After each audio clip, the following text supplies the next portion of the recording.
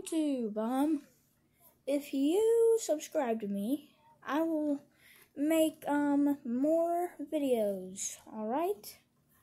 So hit the subscribe button, and I'll see you all later. Bye.